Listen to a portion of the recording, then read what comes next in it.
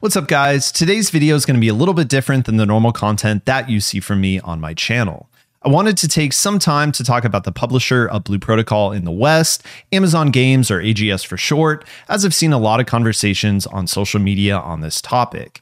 Since the minute that Amazon Games was announced as the publisher for Blue Protocol in the West, players have made it very clear that they either do not approve or are at the very least skeptical. In this video, I want to give some context to players' concerns by giving a little history of Amazon games. Toward the end of the video, I do want to discuss the known changes for the Western release of Blue Protocol as announced by Amazon, as well as give my thoughts on Amazon games as a publisher. While Amazon seems to be pretty hated in the MMORPG space, it's pretty hard to find any consistently praised publishers of MMOs besides maybe Square Enix with Final Fantasy XIV. Even then, it's hard to compare the publishing of a game released a decade ago with all the changes to monetization the gaming market has seen since that time. So, is Amazon really as bad as people think? As a qualifier to this video, I have over 800 hours of playtime in Amazon's most popular game at the moment, Lost Ark, which was over the course of about six months starting from launch day. I have firsthand experience with Amazon as a publisher and have definitely formed my own opinions of AGS from playing one of their games. With that out of the way, let's talk about a little history of Amazon games. Amazon started in the gaming market back in 2012, which seems to coincide with the launch of the Amazon App Store. At that time, they were developing and publishing some lesser known mobile games, which appeared to mainly support their new platform.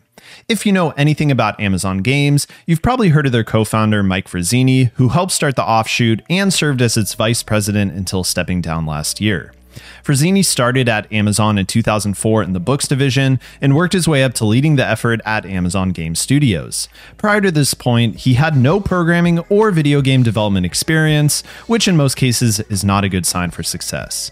It was not until 2014 that they announced they'd be producing PC games and in the same year acquired the streaming platform Twitch. In 2016, Amazon Games announced its first three PC games Breakaway, Crucible, and New World, which is really where AGS gets its reputation. Breakaway was a 2v2 brawler resembling something like a mix of Rocket League and League of Legends that was being developed and published by Amazon Game Studios.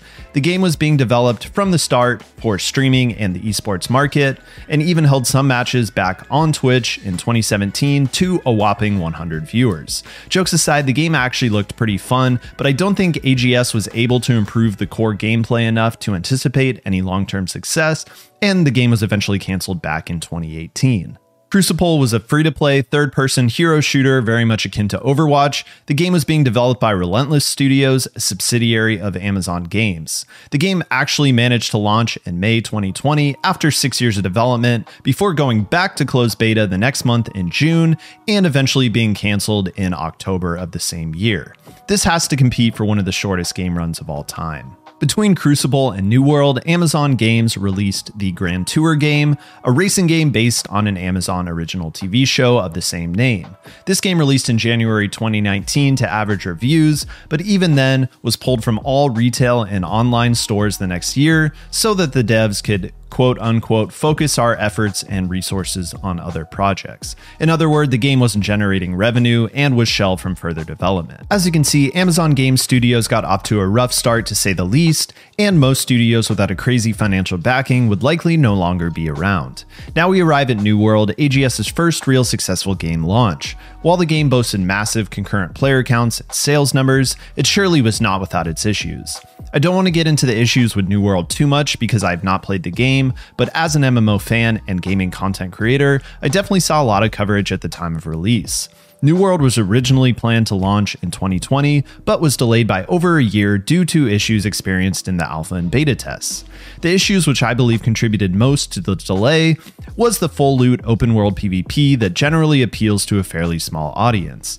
After a pretty major overhaul to the New World systems, the game held its final closed beta in July 2021 with no shortage of bugs and exploits. Among the worst was the numerous reports of RTX 3090s being bricked due to the game rendering massive uncapped frame rates. Card manufacturers weren't innocent here, but either was Amazon. Eventually, the game released in September 2021, which is where the true chaos begins. The game launched to huge queue times, but this is pretty typical of any MMORPG. The real issues were the endless bugs and exploits. This included things like incorrect weapon and armor descriptions, weapon imbalances, gold and item duplication, and numerous exploits such as the ability to turn temporary buffs into permanent ones. Shout out to Tibbar over on Reddit for the awesome summary. I think that the average MMO player gets satisfaction from their accomplishments in a game, and these type of game-breaking bugs take away from the legitimate accomplishments of players. Fortunately for Blue Protocol fans, these type of bugs are much more on the developer than the publisher. That said, there were a number of other issues surrounding launch that were much more indicative of publisher issues than developer ones. These included trading not working when offline, random gold being given out to servers, allowing players to completely empty auction houses, and some servers randomly skipping weeks into the future. Just look at this list of issues acknowledged by Amazon during launch week. I would expect quite a few things to be caught shortly after launch, but this list is just insane. As a result of all of this, the game lost most of its player base within a couple months of launch. In Amazon's defense, the game made a pretty solid recovery toward the end of last year with the release of new content and fresh start servers, which is definitely a good sign for the health of the game overall. New World has definitely had its ups and downs, but I do think the game can have a future if Amazon keeps putting resources into improving its experience. This is really the first example that Amazon has put resources into improving a game rather than just abandoning it, so it's definitely a step forward for the studio. Now let's talk about Lost Ark, as this is Amazon's first MMO that they have published but not developed, very similar to the Blue Protocol situation. Playing Lost Ark for 814 hours, I'm intimately familiar with the Lost Ark issues experienced in the West. The game again launched to massive success, even exceeding New World, and managed to maintain a huge player base significantly longer than New World could. This is likely because Lost Ark was a fully polished game at this point, and a really good game at that. Even with the fact that Lost Ark has been out in Korea for two years, the Western version had many, many issues. While I'm focusing on issues, I do believe Lost Ark has been a success for AGS, and that they're moving in the right direction, focusing on publishing games rather than developing them. On launch, the game had massive queue times, again pretty typical for MMOs. The European server queue times were so bad that they were on the order of 6 to 8 hours.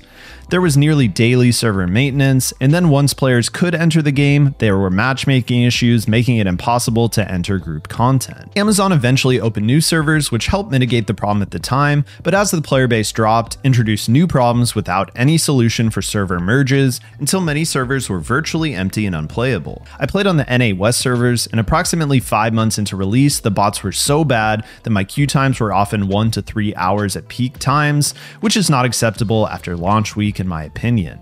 This was just the start. On top of this, almost every weekly maintenance created new problems that led to a second maintenance the next day or extended maintenance times. Content pacing was poor, and important content needed for materials was left out of the game as Smilegate worked towards catching up the Western and Korean versions. There were also a number of publisher specific issues that were most frustrating to me as a player of the game.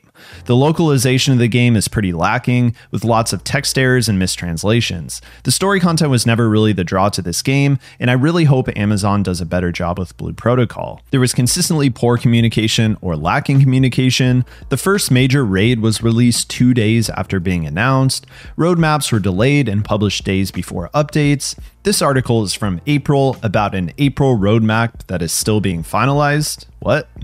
poor advertising for new content compared to every other region, recent disconnect issues that have seemingly been ignored and prevent players from progressing and really just enjoying the game, and one of the more egregious mistakes involving handing out rewards to players mistakenly and issuing an emergency maintenance to take the rewards back. All of these issues are inherently bad and show some mismanagement on behalf of both Amazon and Smilegate. There are other things that Amazon changed in the Western release of Lost Ark from the original version published in Korea by Smilegate that aren't inherently bad, but are considered bad by some portion of the player base. First, AGS and Smilegate changed the skin color of some NPCs in the game. In their words, while Lost Ark has millions of active players around the world, there may be some content in game that is unexpected for some Western audiences. Sometimes this can include cultural references, imagery, or nuances that are unfamiliar to us. While our goal is to preserve the authenticity of the original game, we also feel localization updates can be made to make the game feel more approachable and representative of our Western players. Second, Amazon recently confirmed censorship of the new artist class coming to the West, which has a child body type, stating nothing gameplay related will change for the artist class, but some skins will be modified to better fit Western norms. Whether you're okay with these changes or not, AGS has set a precedence to make similar changes with other titles in the future. Before touching on what all of this may mean for the future of Blue Protocol, I want to highlight some of the positives that I believe AGS brings to the table as a publisher. Lost Ark holds the record for the second highest peak concurrent players of all time on Steam behind PUBG. New World holds the sixth spot in this list, both of which are pretty insane for MMORPGs.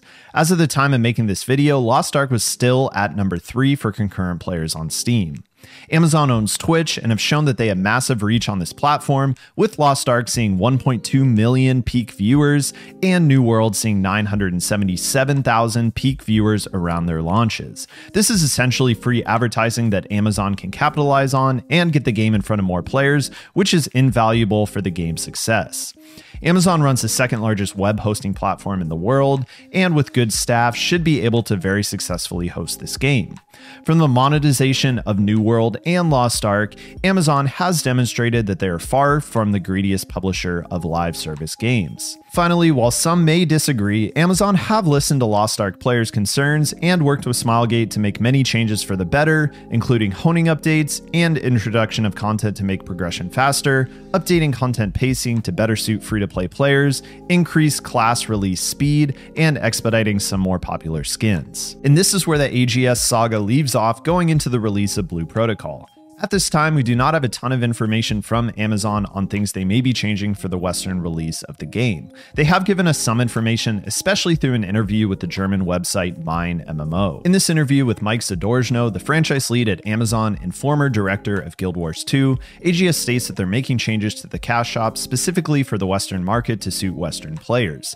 AGS did make changes to the Lost Ark cash shop that were undoubtedly for the better. In the same interview, Mike mentions that AGS is aiming for a teen rating. There seems to be a lot of conflicting and potentially misleading information online regarding interviews with Mike that differ from that published on Mein MMO, which appears to be the original source. The Mein MMO interview simply states that Amazon believes Blue Protocol will achieve big success because it is a mainstream and casual game that will be getting a teen rating. Other interviews from what appear to be clickbait sites seem to summarize the original interview and present the teen rating as a change from the JP version. Personally, I do not see anything in the game that would warrant an age rating above teen anyway. Amazon's promotional art for the game features several darker skinned characters. This seems to align with Amazon's goal to appeal to the Western audience. While I believe the large majority of players approve of this choice, or are at least indifferent, there's certainly a vocal minority of players who want the game as created by Bandai for the JP audience. It is also worth noting that AGS's previous head, Mike Frazzini, is no longer running the show, which I believe a lot of people think is only a good thing for the studio's success. The Blue Protocol team at AGS is also being led by Mike Zadorojny, who has a background in game design and development and was the previous director of Guild Wars 2. While Amazon have definitely made many mistakes with Lost Ark and New World, Blue Protocol is a different game, and because of these differences may not suffer from the same issues, even if Amazon hasn't improved as a publisher. One of these differences is that Blue Protocol uses a mega server shared for the entire region with instance zones. Zones are separated into channels, and these channels have player caps. This allows for a maximum number of players to be in a zone at any given time. The devs did note that you can party up with other players to join their channel or travel between zones and remain together. This eliminates the issue of server transfers unless you're trying to switch between regions, and also ensures that servers remain populated and you'll be able to play with any friends in your region and not have to worry about server selection at launch. Another difference is that there's no confirmed auction house or player trading at game launch, and no plans to add this in the future. This should greatly reduce or eliminate the bot problem. Finally, content pacing should be highly governed by Bandai, as the original JP server should only be roughly six months ahead of the Amazon servers at launch. This should lead to a relatively straightforward roadmap with either a short, expedited Western schedule at launch or a consistent six month lag. While I think it's way too early to determine Blue Protocol's Western release dead on arrival because of the involvement of Amazon Games, I do understand the concerns of the community.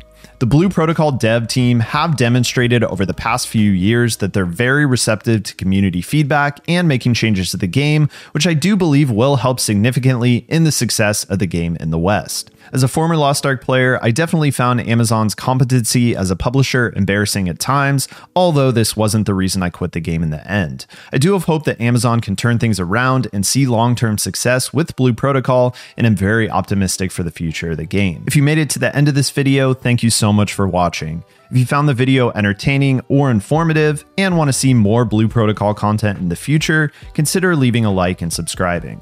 I'll see you all soon for the next video. Peace.